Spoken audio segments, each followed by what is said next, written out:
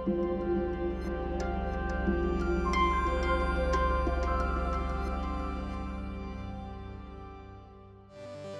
I'm Jeremy Abel, uh, technical lead and audio programmer at Feral Cat and I'll be talking about our game Genesis Noir and how we built a level around jazz improvisation. So, Genesis Noir is a poetic adventure game with an emphasis on exploration and a simple palette of interactions. You play as a cosmic god in a world where the Big Bang is a gunshot fired at the woman you love, and the player's goal is to try and stop it. The gameplay loop consists of entering the universe and exploring a series of standalone short stories. And each of these stories tells a story about a human character and illustrates some aspect of humanity. For example, a hunter character illustrates humans' mastery over their environment, or a scientist character who shows curiosity about the universe. For the level focusing on human creativity, we really wanted to tell a story about a jazz musician due to the noir style of the rest of the game and how much jazz music kind of infuses uh, the rest of everything else. Uh, and we kind of thought that the most interesting way to interact with a jazz musician is through music itself. And we really liked the idea of learning how to play music and having the human character teach the player uh, about their musical world. We kind of thought that was pretty cool. And I have firsthand experience in this, having played drums in jazz bands uh, all throughout my school years. Learning to play jazz is different from learning classical music. Uh, with classical music, you're expected to play exactly what's written on the page. The sheet music tells you how loud to play, how fast to play, when to press the piano pedals, how short the notes should be. Uh, and this is all done in the purpose of uh, expressing the composer's intent. It's way less about the performer's expression, it's more about uh, the, the beauty of what the composer has created. But with jazz, the focus is much more on the individual playing of music rather than the composer. If you look up uh, 100 performances of Hungarian Rhapsody, the differences between them will be subtle, uh, especially if you're just a student. If you play it wrong, your teacher will probably yell at you. Uh, but on the other hand, you can look up 100 versions of All of Me, and there will be a lot of clear variation in speed, feeling, texture, instrumentation, and everything else. Uh, the sheet music doesn't even tell you what instrument to play or how fast to play it. Uh, it just kind of gives you a melody uh, and some chords, and then you're expected to just kind of do whatever you think is good. Um, the other prominent aspect of jazz is uh, the solo, which used to be a big thing in classical music, but eventually kind of fell out of fashion. I think it was called cadenzas in, in that context. Um, but teaching how to solo is really difficult. And in school, they'll give you sheet music like this, where it just says repeat for solos, and then there's some chords and a bunch of slashes and the slashes are just they just mean play whatever you want. Um, but that's only in school. In the real world, you won't even get that. You'll just kind of get these bad Xerox copies of handwritten sheet music, and you could buy them in a book called The Real Book. Um, but the people who made this book didn't have the licenses for the songs to print the sheet music. Um, so the only way you could get them was from someone's car trunk outside a jazz club, or if you know who to ask at a music store. And the other thing is you can't let anyone see you have one of these at the jazz at the jam session because you're expected to learn all these tunes by just listening off the albums. And reading off the real book in a jazz jam session would get you kicked out. You're supposed to memorize them and, and listen to the original tracks and then figure out what you're supposed to play from that. So we felt that uh, learning to play jazz seemed like the perfect story for a video game. Well, you have a mysterious community that's distrustful of outsiders, strange rituals to learn, and a uh, big book of secrets. So you're kind of becoming a jazz wizard, I guess. so how can we make this fun and interactive for someone who has probably never played jazz before? Well, let's, let's look at the traditional path for learning this stuff. Step one, uh, like everything else, is to copy the professionals. Uh, in jazz school, this is done by transcribing solos to learn how a solo was constructed. And I guess this is kind of like copy pasting code from the internet. Um, you would usually spend, you know, a couple hours just listening to a song over and over again and writing the notes out. And then you would get graded on it, I guess, on accuracy. Um, so turning this process into kind of a Simon Says game made sense. Uh, I'll play a bit here.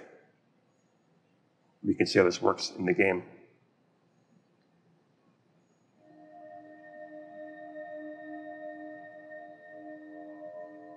So as usual, it starts out with only a couple notes, and it adds more as you go on.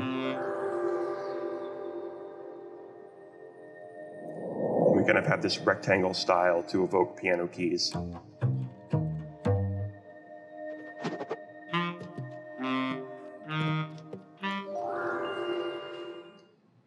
And after a few rounds of that, uh, the player gets kind of blown away by the human.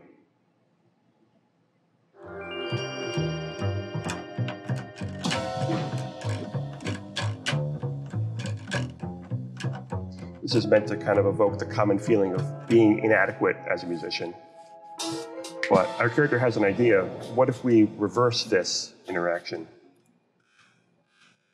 It's inspired by my experiences in school where the teacher would say stuff like improvise using only these four notes. So the goal of the interaction is for the the goal of the interaction is to pick notes and have the human bassist uh, kind of play a, a, cooler, spicier version to kind of uh, as a call and response kind of thing. So now we get to the big question. Uh, how the heck do you make a computer play jazz music in the first place? Uh, and this is caveated without machine learning because uh, we don't have the time or the budget to really go down that route. So I started doing some research, uh, and I had found this great video by 8-Bit Music Theory that analyzes uh, a saxophone solo from a Mario Kart 8 tune. And one of the things that he mentions is a technique called chromatic enclosures, where you start with a single note and you add notes uh, semitone above and below uh, the initial note. And this sounds like a really great potential algorithm, I guess, for taking an input set of notes and spicing that up, making it more interesting. And at the time, I was really excited by, the, by this discovery. I didn't really think fully through why you would want to do this, what's the benefit of enclosures. I was just jazzed about there being a potential solution to the problem of starting with four notes and coming up with a cooler version of those four notes. Um, so you can even make really long enclosures. You can start with one, and then you know suddenly it turns into five by you know kind of weeding in and around this note that you're targeting. Uh, so I got this idea of making improvisation mutators, where you would take the player's input notes, run it through some algorithm, and you would get some spicy output notes. Uh, so the first one I wrote was this enclosure one, where it would randomly add enclosures to players' notes. Uh, so if our input sounded like this, then the enclosured version might sound like this. And yeah, it doesn't really bear much resemblance to, uh, to the original input. Uh, you can see that the targeted notes are in red, and they're just kind of enclosed by some other random notes that are above and below the targeted note. Uh, I also wrote one called double notes. Um, this one allows us to kind of, here, I'll just play it. So if our input is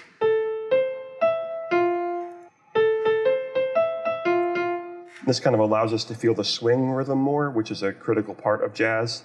Uh, here you can play it called straight, which is without swing. And then with swing, it's like this. So you can hear how it has way more of a bouncy sound, and that's kind of a quintessential part of jazz. Um, and then I wrote one called Adjust Durations, where it just kind of randomly changes the durations of the player's inputs. So if our input is this, we can adjust that to which sounds interesting, but uh, I decided that we kind of needed to know the durations of the player's input notes, which is called quantization, where you snap some inputs to a temporal grid, um, basically assigning sensible note durations to what the player had, had, had played. And it turns out this is a really difficult problem to solve, especially if you're recording inputs from someone who's trying to play a video game and not actually perform music. Um, but at this point, it's probably like, I don't know, uh, 10 p.m. and I'm way too in the zone. I'm too busy writing code to stop and test the code that I've already written. So I come up with this a, a cheater solution. Um, so if this is our input, uh, we can find the maximum duration between two notes, divide that into three buckets, assign note durations to each bucket, and then measure each input's duration and sort them into the three buckets. And this turned out to be good enough. Uh, I still haven't really tested any of this, but I'm pretty proud of my cheaty quantization method. Uh, I commit at 1 a.m., And I come in the next day to test, and it turns out that all of this sounds kind of like crap. It's not very interesting. Uh, it doesn't really, really uh, spice up the player's inputs too much. It just kind of sounds like, you know, random, uh, random stuff. And it turns out uh, this is a pretty difficult task. A lot of work has been done trying to make a computer generate a jazz solo. Uh, some, lot of papers with lovely diagrams um, and great titles like Recombinant Jazz Improvisations.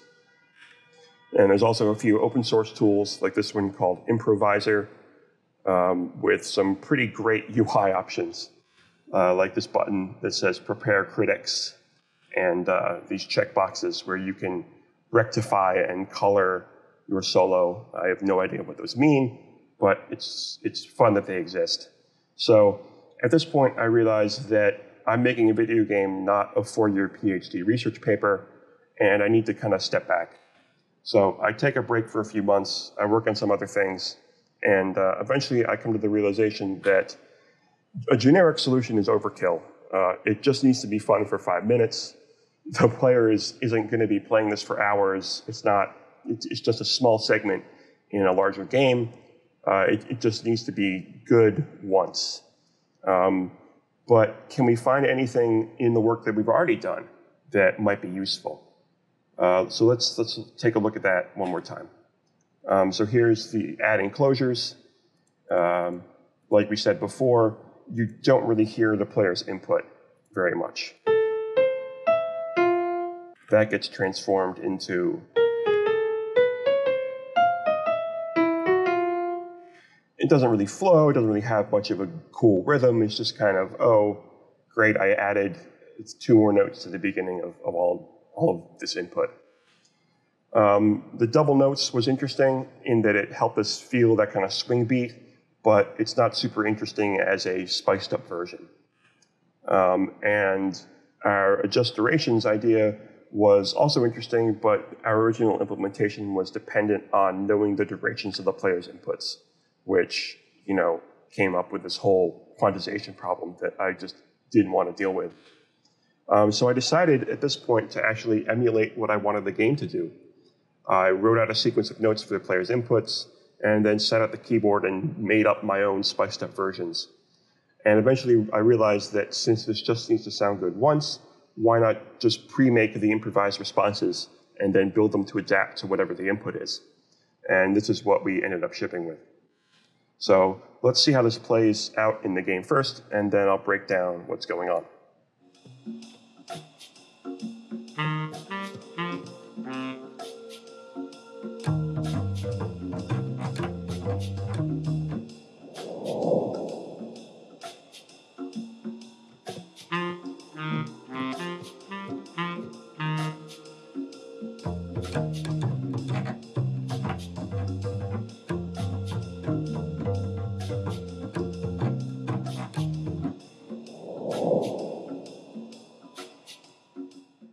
Cool. So what we do is we record players' notes into an array, and we don't really care about the timing since we'll be applying our own rhythm. Uh, we, we, just record them in, in, in a list. Um, and then we have these things called response MIDIs, which are um, used to impose a rhythm on the player's inputs. And this is what one of them sounds like.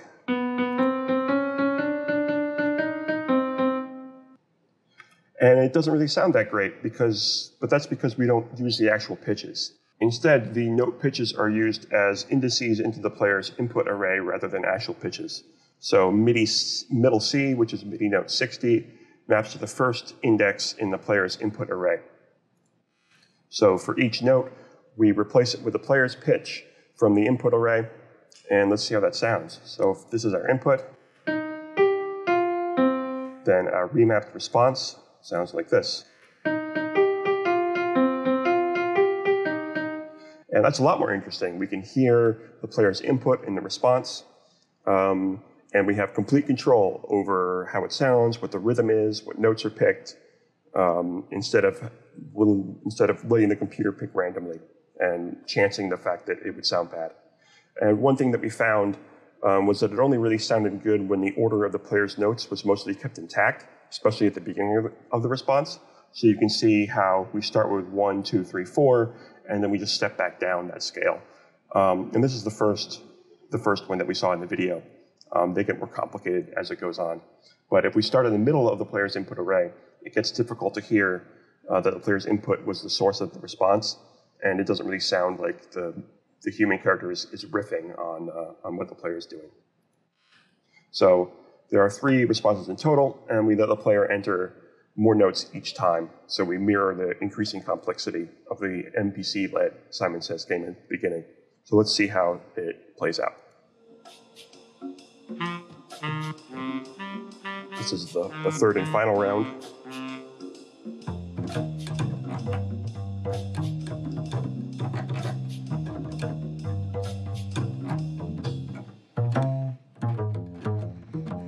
So we end up getting blown away once again.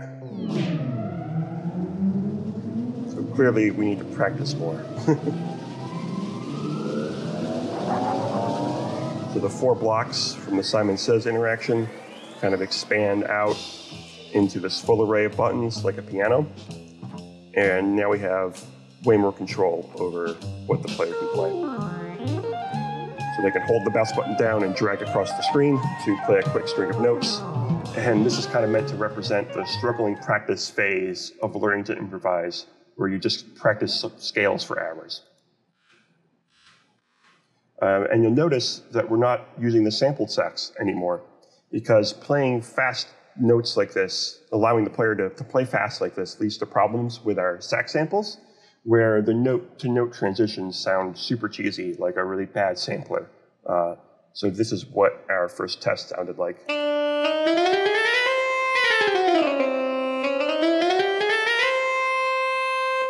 So we clearly needed to, to find a solution for this just because it just sounds really bad.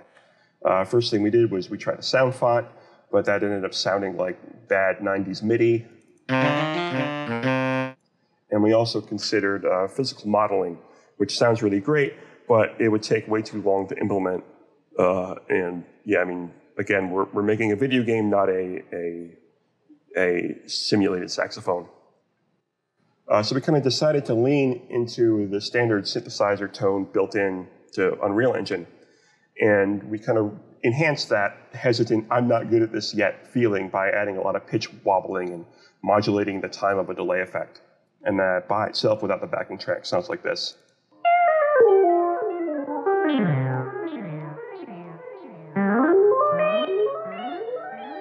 So you can hear it just kind of trails off into this uh, drunken kind of style.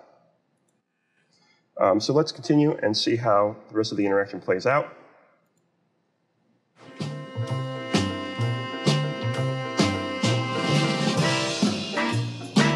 So once you satisfy the bassist with your practicing, uh, it's on to the next step of the jazz learning adventure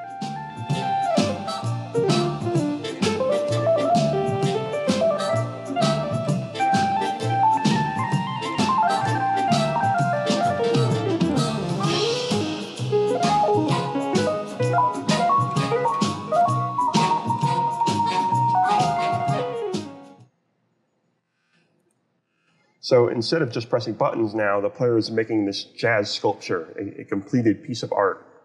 And we kind of represent this as a brush interaction, where the player draws their notes in free space as a geometric path of lines and blocks. At this point, there's no notes to click, no buttons or whatever. You just hold the button down and it automatically makes a note.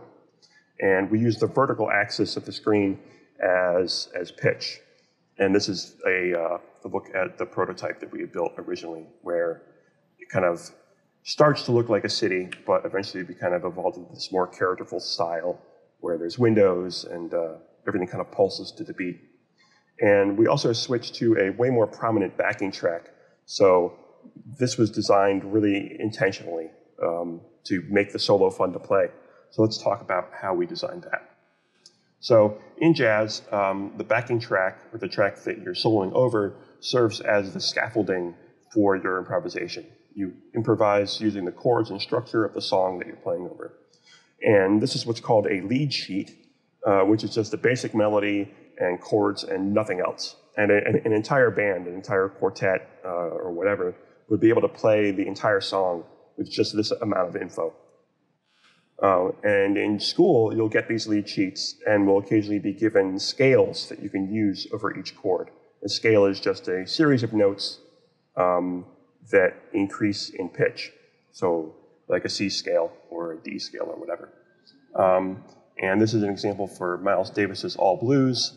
Um, and it says stuff like G Mixolydian, G Dorian, etc. And that doesn't mean much to me, but it makes more, much more sense like this, uh, where it just, here's the notes on the piano that you can play that'll uh, make it sound good. And when I was working on this slide, I got distracted for like an hour just, uh, just playing over this song. Uh, and this is kind of how I figured out originally that I wanted to make a level of, about improvisation as I was just messing around on my keyboard uh, while listening to some albums and realizing that, oh, this, this particular song is really nice to play over. So I recorded a bit of my own improvisation to kind of talk through what makes this song interesting to play over.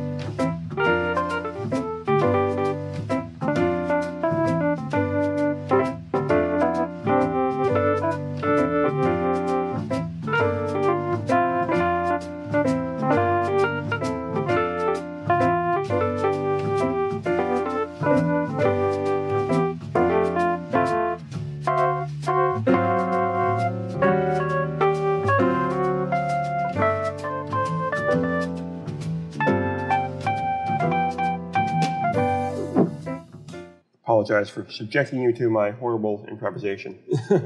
um, but what you want to kind of do when you're making a solo is kind of have this interest curve, is, is what it's called, where you kind of take the listener on a journey um, with sound. Um, and the song that you're playing over can really help you do this. And that's kind of the aspect that makes all blues so much fun to play, is that you don't even really have to think about you know, oh, am I, you know, do I want to increase intensity here? Do I want to decrease intensity? Because the song kind of does it for you. And that concept is called tension and release. So in music, in, in Western harmony at least, um, certain chords feel like they need to resolve to, to go somewhere. Uh, we can hear that in this short example here.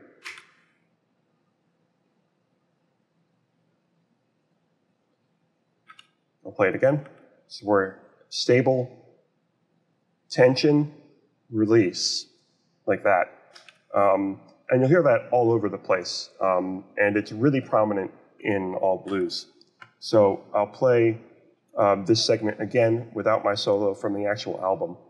Um, and we'll see, I'll, I'll talk through it. Pretty stable, playing through the melody.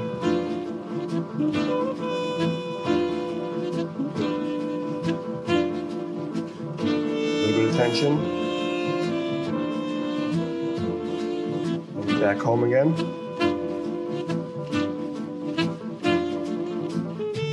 Oh, it's a lot, a lot of tension, but a lot of tension adds to bigger release.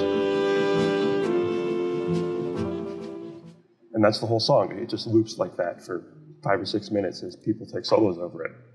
Um, so returning back to this kind of home sound adds this inherent sense of progression, like the song has been somewhere and now we've kind of come back.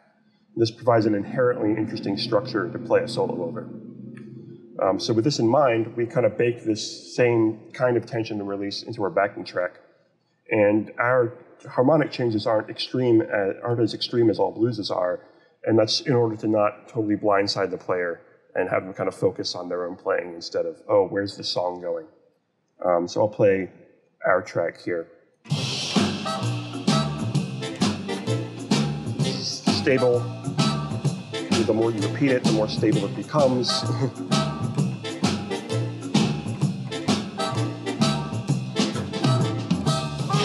switch to C sharp, and now there's some added tension. It's different from where we were.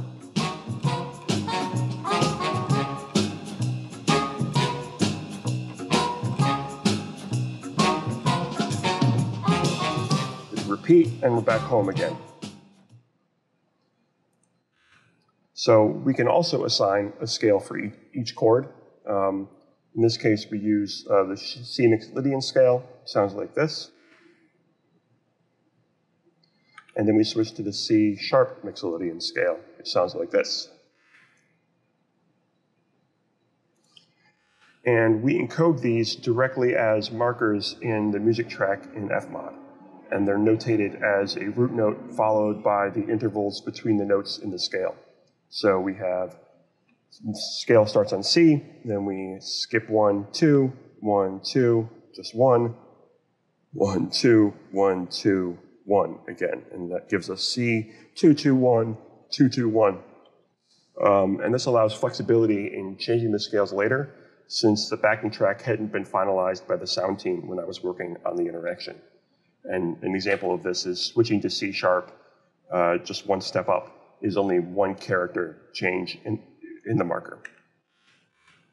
Um, so let's check this out in context.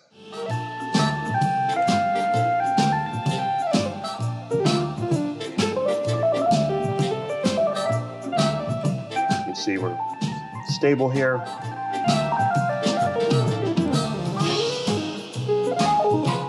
Now we've gone up to C sharp.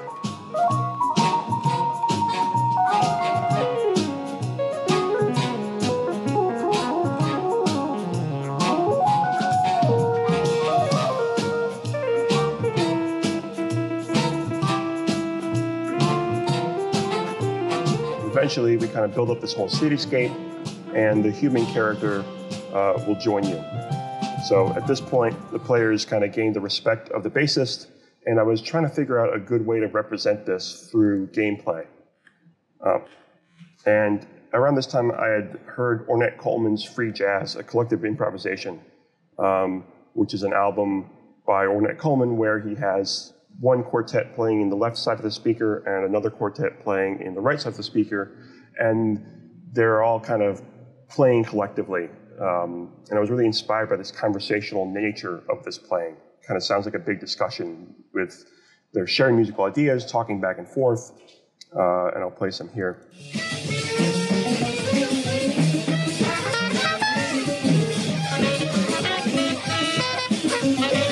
You hear different instruments playing all together, kind of improvising together like a big kind of shouting match. And this seemed like a perfect way of communicating that the player has gained an understanding of human creativity from this music character. Um, but now we're back here again. Uh, how do we make the computer respond to the player's inputs um, without machine learning? Again.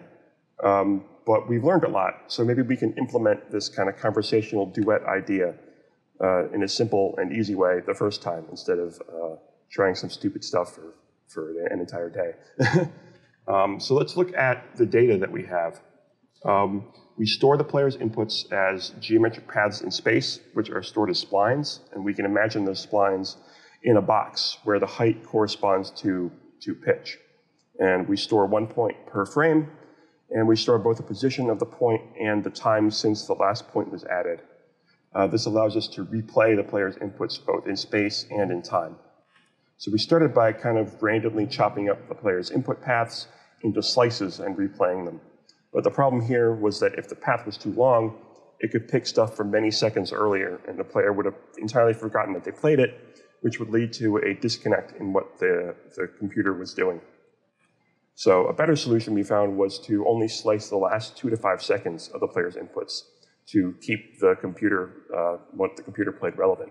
So as the player draws their path, segments are replayed from the latest path data. But this just kind of generated uh, reiterations of the player's inputs. What we wanted was the computer to be a bit more creative with responding to the player. So since the player's solo is just geometric data, we generate variations uh, using normal geometric transformations. We can move the curve up or down to shift the pitch. We can scale it to increase the variance in the pitch. And rotation uh, looks kind of weird in this context, but if it's just a small segment, the notes will kind of start out the same and then gradually diverge, which you can see in this looping section here. So if we combine this idea with our smarter path selection, it looks like this. Um, to add a sense of progression, we kind of can increase the variance in these transforms, how much they randomize uh, the longer the player uh, plays with the interaction. And we can also move these points around in the x and y axes to have some more visual separation without adjusting, the, without affecting the pitch. Um, so let's check this out in action.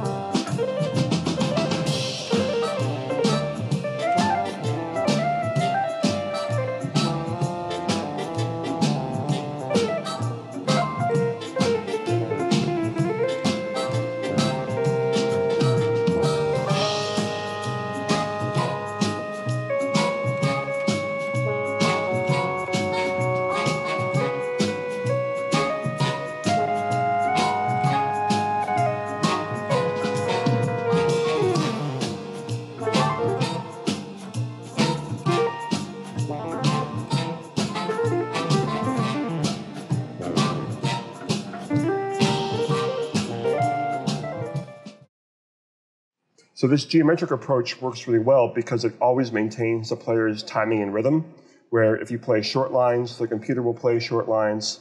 If you play longer held notes, the computer will play longer held notes. And while the pitch is changed, uh, the feeling is maintained.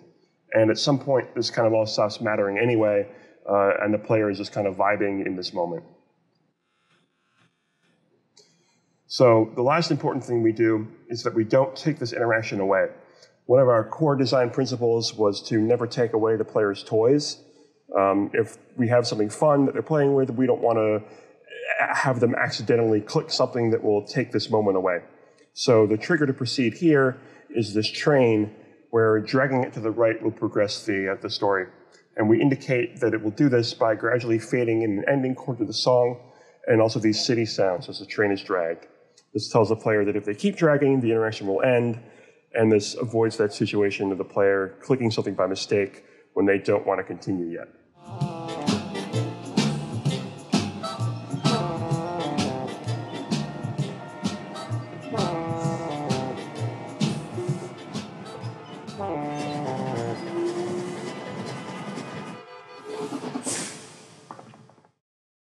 So with all this in mind, uh, let's watch the whole interaction from the beginning, and uh, I'll shut up.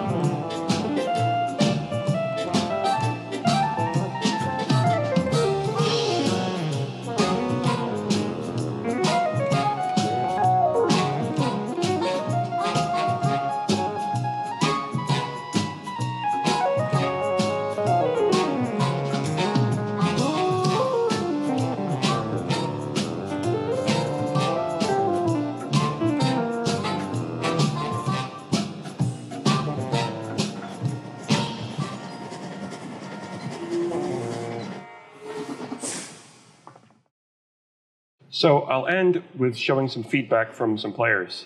Um, we had released the jazz level as a demo pretty early on in development. And uh, one of the functionalities of the demo was a email feedback form. Um, so it was really cool to see people enjoying the interaction. But some of the coolest messages we got were from educators who were inspired by what we'd made. Uh, and I, I, can't find it, but we did get an email from a teacher asking if we could add some features uh, so they could use the interaction for teaching their students. Um, stuff like being able to jump to any part of the three stages of, of, the interaction and stuff like that, which I think is something that we'll add in a future update. Um, but this really kind of highlights the potential of making a game not just with a jazz soundtrack, but making it about playing jazz music. Um, and I feel like this similar kind of concept could apply to any other kind of music as well. Um, so I'll conclude with thanking uh, huge thanks to Skillbard, our uh, music and sound design team, uh, for being just outstanding partners and providing me with so many good sounds and ideas for the interaction. Uh, I can't imagine building this without them. Uh, so thanks. Uh, thanks for checking out the talk. You can find more about the game at genesisnoirgame.com. Uh, it's on Steam for Windows and Mac, uh, Xbox, and Switch. Uh, you can reach me at jeremy at feralcatden.com at my email address or on Twitter as uh, JablesJables. Um, so thanks again and take care. Bye.